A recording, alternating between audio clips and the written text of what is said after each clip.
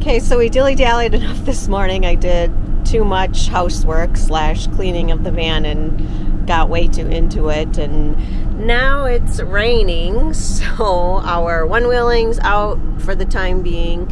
Don't necessarily want a mountain bike uh, in the rain, so uh, go ahead. But the good news is we can uh, head to Bend, Oregon, which cool little. Yeah, Bend, Oregon is a great little village city. And then we can see if the uh, rain stops. It's pretty light, so the mountain bike trails still should be okay. Or the doing the one wheel should be okay.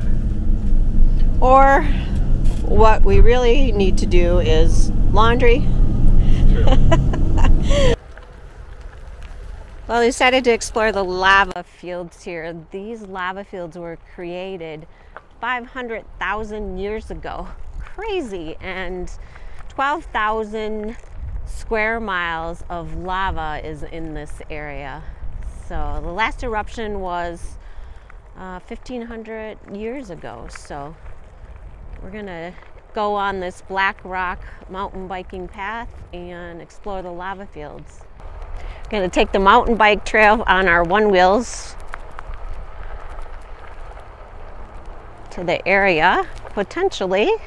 We'll see how technical it gets, but if it stays nice and smooth like that, this is, shouldn't be a problem. A little drizzly out here, but totally doable. Looking like a pro up there. Just don't hit any of the monster pine cones and you'll be fine. Wow, this is a fun trail. Really fun trail. This trail is a blast. Really flowy. Love it.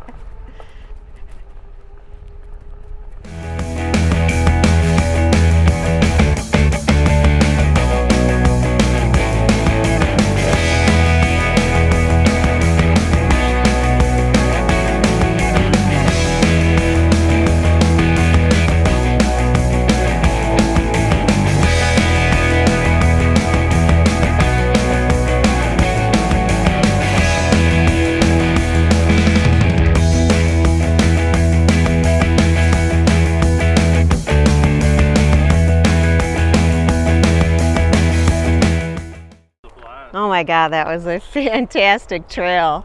So flowy and easy. Loved it. Yeah, Mother Nature is saying get off and get your one wheels back in the van before they get soaked.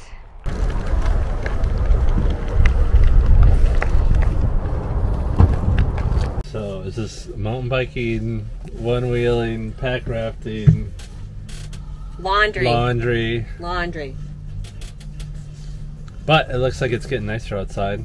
Yeah, perfect time to do laundry Yeah. now that the rain is stopping.